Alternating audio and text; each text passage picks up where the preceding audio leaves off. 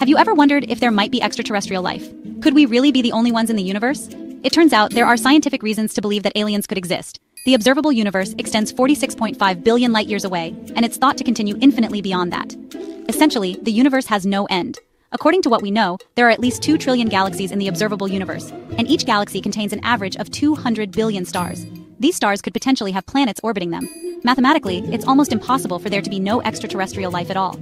If we're to find any evidence of extraterrestrial life, there are reasons we might not have seen any yet. The Drake equation helps estimate the number of communicative extraterrestrial civilizations. It considers factors like how many stars in our galaxy are similar to the Sun, how many of those stars have planets, how many of those planets are in the habitable zone, and how many of those planets develop life. It also considers the likelihood of life evolving intelligence and the probability of such civilizations developing technology to communicate. Based on the Drake equation, there might be about 36 civilizations in our galaxy. On the pessimistic side, we could be alone, but on the optimistic side, there could be as many as 3 million civilizations.